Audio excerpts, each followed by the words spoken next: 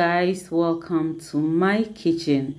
And so today's recipe is some delicious healthy whole wheat and soya bean bread. Very simple and easy. You will love every bit of this. So please relax and do well to subscribe like and share this video and leave a comment.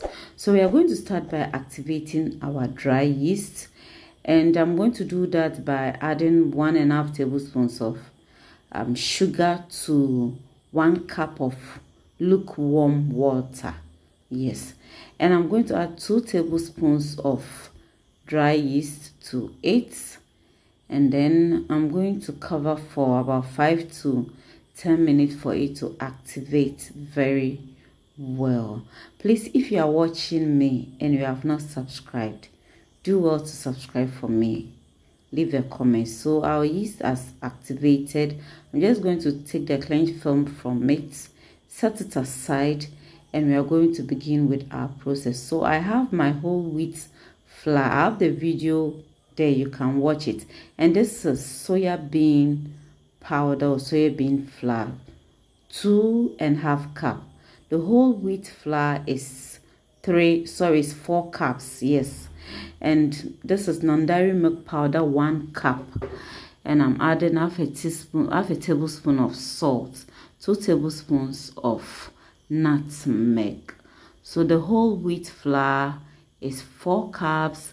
The soya bean flour is two and a half cup and then non-dairy milk powder one cup do you get it okay so i'm adding two eggs to it half um cup of coconut oil and then one tablespoon of um, vanilla flavor vanilla essence.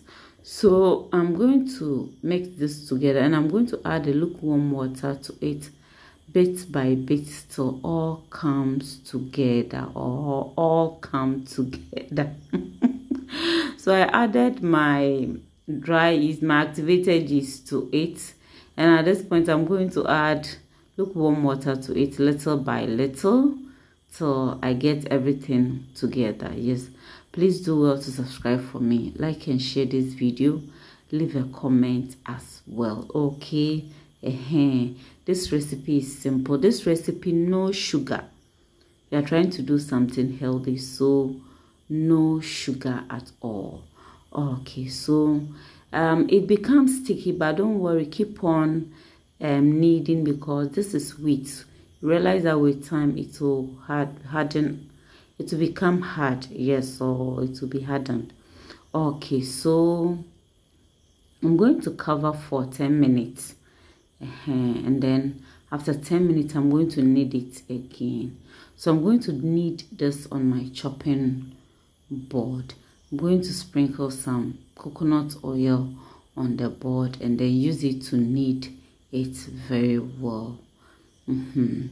share this video leave a comment subscribe subscription is free so i am kneading this and i felt it's hard so I decided to sprinkle a little bit of water. As I said, this is wheat and it takes a lot of water. So you just have to be giving it water small, small. At the end of the day, you don't want your dough to be very hard and you don't want it to be very soft also. So just make sure that it's in between and it bounces very well. So I'm going to place this in the bowl, cover for 30 minutes for it to double in size yes or triple crab okay so i'll cover for 30 minutes once again if you have not subscribed click on the subscribe button and leave a comment so after 30 minutes it has increased in size.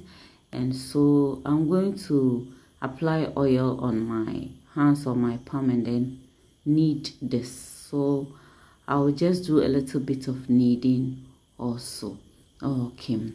So what i'm going to do is to place it on the chopping board uh, with um, coconut oil on on the chopping board. So i just take small quantity from it and i'm going to knead this a little and we are going to mold it into a baking pan. Yes mm -hmm. so i didn't use margarine or butter. I decided to use coconut oil. Like i said i want something healthy. Okay and i decided to add raisins to it. Yes so i'm sprinkling some raisins on top and then use the um, roller to roll it i'm going to take the excess ones at the edges and i'm going to um, mold this fold it and then be pinching it this way to get everything in place. Please subscribe for me like for me share this video leave a comment and i'm going to also roll it on the chopping board to get everything and smooth or well put together. So let's be pinching to seal it very well. Yes and then i'm going to roll it this way you see. Mm -hmm. so i already have my baking pan lined with my parchment paper and i'm going to lift it place it in beautifully so you see.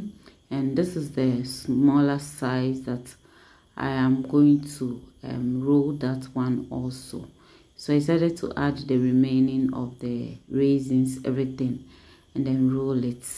Yes this bread came came out very delicious.